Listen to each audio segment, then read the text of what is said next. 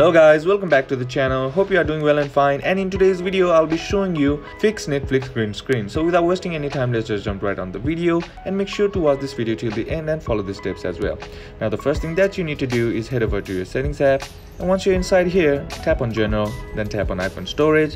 Now once it loads, scroll down and then tap on Netflix and now tap on offload app and then tap on offload app to begin the process. And what this does is it resets the app by clearing all the bugs and glitches that is present in the app which might be causing the issue that you are facing. So once the process is done uh, instead of this offload app you will have an option that says reinstall app. Simply tap on that. And once that process is done try again and if that doesn't fix the issue then what you can do is just simply head over to your app store and on the search bar simply type in netflix.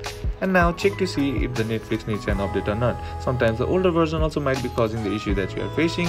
So a simple update might fix the issue and that's basically how you can do it. And that's it for today's video guys. Hope this video was useful to you. Leave a like if it did.